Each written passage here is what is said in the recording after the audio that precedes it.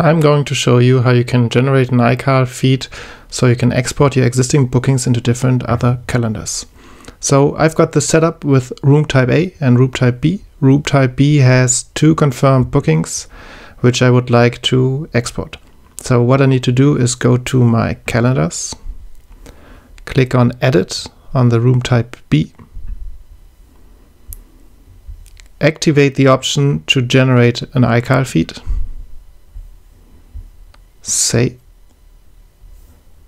Then go back to editing room type B and there I can see the generated uh, URL, the address I can use to import it into different calendars.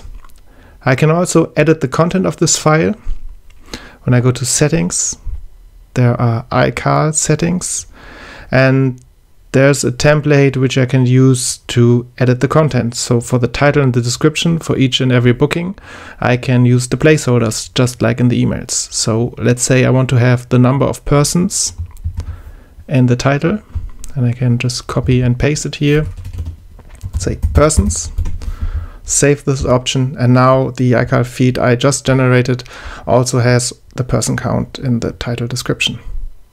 Thanks.